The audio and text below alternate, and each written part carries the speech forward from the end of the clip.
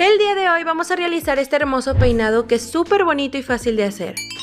Comenzamos realizando una división central a lo largo de la cabeza.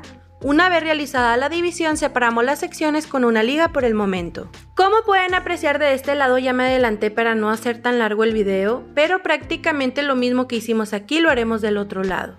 Ahora vamos a trabajar de este lado, vamos a tomar una distancia de 4 dedos de ancho, ahí donde marque realizamos una división inclinada que termina a mitad de ceja del lateral izquierdo. Ahora vamos a sostener esta sección con una liga por el momento. Lo siguiente que queremos será tomar una distancia de aproximadamente 2 dedos de ancho, ahí donde marque realizamos una división inclinada de esta manera. El resto de cabello lo separamos para poder apreciar que la división nos haya quedado perfecta. Ahora vamos a realizar una división de manera horizontal que nos quede por detrás de la orejita. Una vez realizada la división separamos con una liga por el momento. Y con el resto de cabello vamos a realizar una coleta alta, bien peinada y pulida. Y como pueden apreciar, me estoy apoyando de un cepillo pequeño. A mí en lo personal me gusta mucho el acabado que deja en el cabello. Ya que hemos realizado la coleta, vamos a trabajar con esta sección. Vamos a tomar el cepillo pequeño, peinamos súper bien y después colocamos una liga de esta manera. Lo siguiente que queremos será dividir en tres partes iguales esta coleta. Después vamos a realizar una trenza básica más o menos hasta llegar a la altura de la coleta del lateral izquierdo. Cuando lleguemos más o menos a la altura de la coleta del lateral izquierdo, vamos a tejer un poquito más y después colocamos una liga para evitar que se afloje y reservamos por el momento. Ahora vamos a trabajar con esta sección, vamos a tomar una distancia de 3 dedos, ahí donde marque realizamos una división inclinada de esta manera.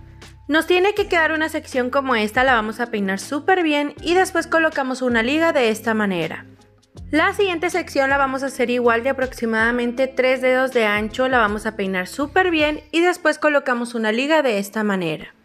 Ahora vamos a hacer lo mismo con la última sección que nos queda que también mide aproximadamente 3 dedos de ancho, la peinamos súper bien y colocamos una liga de esta manera. Y así es como nos tiene que quedar de ambos lados. Lo siguiente que queremos será tomar las tres coletas del lateral izquierdo y las tres coletas del lateral derecho.